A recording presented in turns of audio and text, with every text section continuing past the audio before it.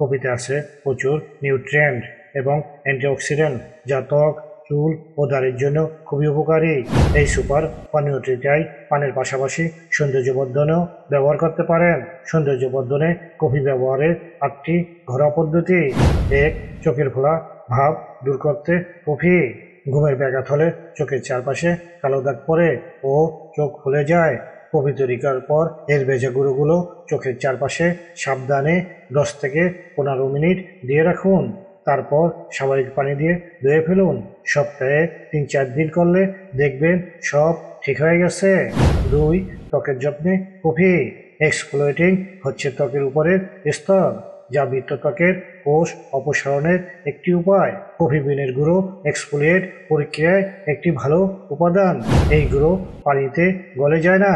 ফলে এটা ত্বকের মৃত্যু কোষের উপর বসলে ভালো ফল পাওয়া যায়। এক্সফোলিয়েট স্ক্রাব বানাতে একটি কাপের চার ভাগের এক ভাগ ফ্রেশ কফি বিনের গুঁড়ো নিন এবং এক কাপের চার ভাগের এক ভাগ ব্রাউন সুগার পর্যাপ্ত পরিমাণে লেবুর রস, উপাদানগুলি মিশিয়ে ত্বকে মাখুন। কয়েক মিনিট রেখে ধুয়ে ফেলুন। গোসল করার পর এভাবে কয়েকদিন পর পর করলে উপকার পাবেন। তিন, সূর্যের রশ্মি থেকে ত্বককে রক্ষা করতে কফি। কপিতে থাকা পলিফিলম নামক অ্যান্টিঅক্সিডেন্ট সূর্যের আল্ট্রাভায়োলেট রশ্মি থেকে ত্বককে রক্ষা করে এবং বার্ধক্যের চিহ্ন দূর করে। গবেষণায় দেখা গেছে, বেশি বেশি কফি খেলে ত্বকের সূর্যরশ্মি থেকে হওয়া দাগ রোধ হয়। কফি পানের সাথে সাথে ত্বকে কফি পাকলে এই অ্যান্টিঅক্সিডেন্টের উপকারিতা পাওয়া যাবে।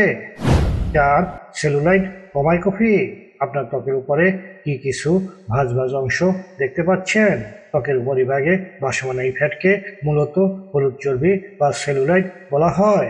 গবেষণায় দেখা গেছে, কফির উপাদান ক্যাফিন দিয়ে তৈরি ক্রিম ব্যবহার করলে ত্বকের সেলুলাইট কমে, বিশেষ করে মহিলাদের ক্ষেত্রে।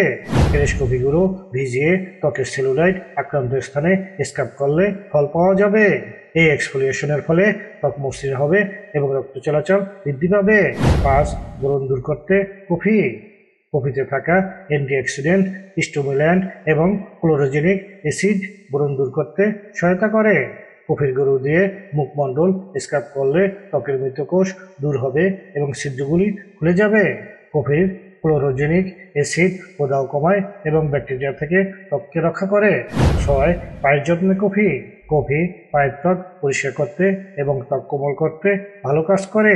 কফির গুঁড়ো, পায়ের তালুর মৃতকোষ দূর করে এবং ক্যাফিনের উদ্দীপক এখানে গুণাগুণ, রক্ত চলাচল বৃদ্ধি করে। একটি পাত্রে কফি এবং ফিল্টার থেকে নেওয়া গুঁড়ো মিশিয়ে নিন। কফির গরম ভাব কমে এলে পা ডুবিয়ে গুঁড়ো কফি দিয়ে স্কাপ করুন। সাত চুল ও দাড়ির যত্নে কফি। আমাদের চুল এবং দাড়ি প্রাকৃতিকভাবে আম্লিক বা অ্যাসিডিক। বিজ্ঞানীরা যে কোনো পদার্থের অ্যাসিডিটি নির্ণয় করতে ব্যবহার করে পিএইচ স্কেল যে পদার্থের পিএইচ যত কম সেটার অ্যাসিডিটি তত বেশি। চুলে যদি এমন কিছু ব্যবহার করা হয়, যেটা চুলের পিএইচ ভ্যালুর চেয়ে বেশি, তাহলে চুল হবে শুকনো এবং খসখসে। চুলে কফি মাখলে চুল দাড়ির পিএইচের মাত্রার ভারসাম্য রক্ষা হবে। আট চুল রং করতে কফি।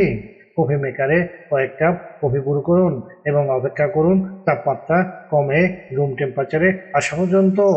এই কফি ভালো মতো চুলে মাখুন, প্রয়োজনে বাথরুমের বেসিন ব্যবহার করুন। মাথায় সব চুল যেন এই কফি দিয়ে ভালোভাবে ভিজে থাকে। শাওয়ার ক্যাপ দিয়ে মাথা ঢেকে নিন, তিরিশ মিনিট থেকে তিন ঘণ্টা পর্যন্ত অপেক্ষা করুন। গোসল করে চুল ধুয়ে ফেলুন। চুলের রং বেশি গাঢ় করতে চাইলে এই পরীক্ষা কয়েকদিন রিপিট করুন।